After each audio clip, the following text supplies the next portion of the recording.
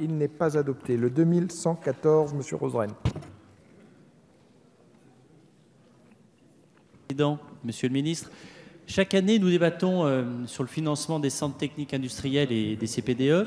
L'année dernière, lors de l'examen du budget avec ma collègue Olivier Grégoire, nous avions réussi à accompagner la baisse des plafonds de la taxe fiscale affectée par une baisse de taux.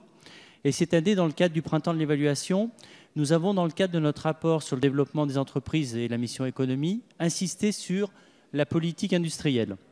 À l'occasion de sa, présentation en commission en finances, la secrétaire d'État Agnès Pannier-Runacher avait pris l'engagement d'un maintien du financement des CTI et des CPDE pour 2020. Le budget que nous examinons euh, respecte ces engagements et je tenais à le saluer et à vous remercier. Cependant, comme nous l'avions relevé dans le cadre de notre rapport et comme l'a indiqué notre collègue Anne-Laure Catelot à l'issue de sa mission, le plafonnement de la taxe affectée des CTI et des CPDE n'a pas vraiment de sens.